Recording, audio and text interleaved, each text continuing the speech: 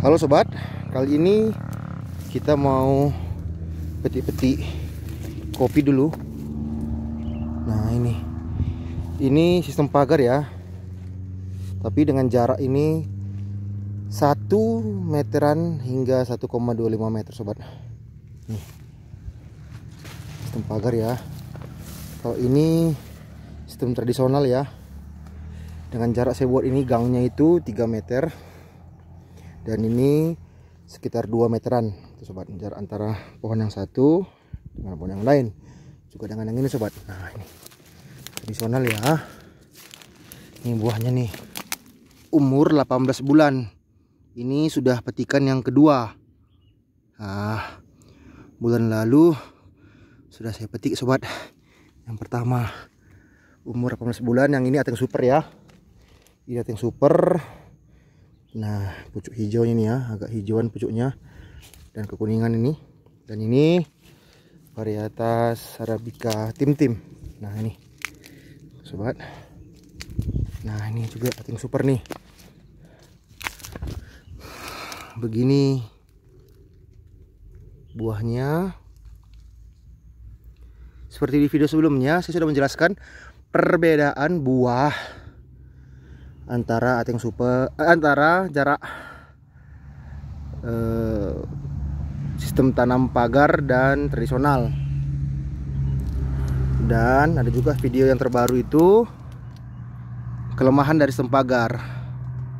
Nah saya ringkasnya berdasarkan pengalaman saya sistem pagar itu lemah jika eh, nutrisi kurang perawatan lambat atau tidak rajin ya perawatan dalam membersihkan rumput dalam perawatan penyempraian contohnya seperti saya ini sobat seperti saya ini saya sudah satu bulan tidak spray ya dan tidak mengunjungi kebun sekitar tiga bulanan lah. Jadi saya sudah tidak beri nutrisi itu lama nutrisi daun. Jadi begini kondisinya. Jadi itulah kelemahan sistem pagar pertama tadi jika malas untuk membersihkan areal kebun karena untuk umur satu tahun ke empat tahun itu antara pucuk satu dengan pucuk yang lain belum bertemu. Jadi masih banyak rumput-rumput ya sobat. Itu pertama. Lemah tempagar jika kita malas membersihkan. Yang kedua malas penyempraian ataupun pemberian pupuk daun ataupun pupuk batang dari bawah ya. Dan jika kita itu memberi nutrisi sedikit. Karena apa? Karena berdasarkan pengalaman saya pemberian pupuk untuk sistem tradisional lebih sedikit dibandingkan dengan sistem pagar. Mengapa? Karena nutrisi yang dibutuhkan oleh kopi ini dapat menyebar ya, dapat akarnya dapat ke sana kemari. Tapi kalau sistem pagar itu dia beradu. Contohnya seperti ini sobat. Ini saya tanam ini sekitar satu meteran cuman ini. Nah, udah beradu ini. Nutrisinya kalau kita ambil ini sama dengan sistem pagar dengan sistem tradisional maka pertumbuhan akan lambat. Seperti ini sobat contohnya. Jadi awalnya saya mencoba sistem pagar dibandingkan dengan sistem tradisional. Jadi saya simpulkan bahwa sistem pagar memerlukan banyak pupuk. Jadi kelemahan yang ketiga adalah jika pupuk itu tidak seimbang.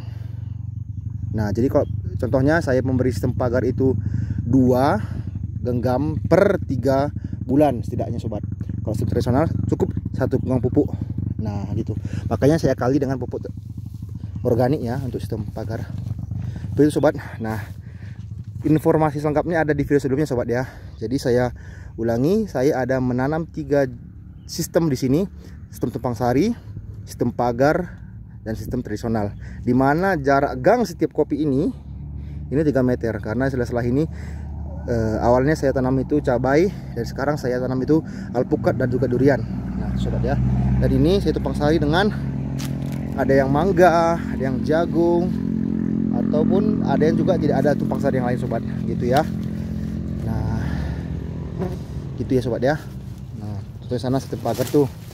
Kalau teman-teman malas memberi pupuk atau sedikit memberi pupuk ya belum berbuah. Hasilnya ya belum berbuah. Maksud saya belum banyak buahnya dan belum rimbun lah gitu sobat. Nah ini contohnya sistem pagar ya. Ya buahnya seperti ini ya. Jarang nih. Nah nih. Nih. Tapi kalau sistem pagar itu eh sistem tradisional tuh udah tinggi pohonnya. Gitu sobat. Nah ini sistem tradisional ya. Nah ini. Bervariasi pertumbuhan buahnya ya. Ini juga nih udah berbuah nih. Nah gitu sobat. Ini berdasarkan pengalaman saya ya. Mohon maaf bukan mau mengajari sobat ya. Ini berdasarkan pengalaman saya di mana saya sejak kecil sudah bertani dan kakek saya juga petani kopi dahulunya. Nah gitu. Jadi saya memberi saran dan, dan nasihat itu berdasarkan pengalaman ya sobat. Saya ulangi sistem pagar itu lemah jika pertama malas membersihkan areal kebun sekitar kopi. Yang kedua malas menyepray atau jarang menyepray yang ketiga sedikit pemberian pupuk. Nah yang lebih penting lagi sih pemangkasan sih ya supaya cahaya matahari itu bisa masuk ke setiap bagian pohon. Tapi karena saya ini sistem pagarnya masih jarang belum terkena belum terkena belum berhimpitan antara satu dengan yang lain jadi tidak terlalu banyak saya melakukan pemangkasan sobat. Gitu sobat ya. Dan yang paling penting adalah sistem pagar jangan kurang dari satu meter jarak antar pohon. Oke sobat. Bikin sekilas info ya. Terima kasih baik sebelumnya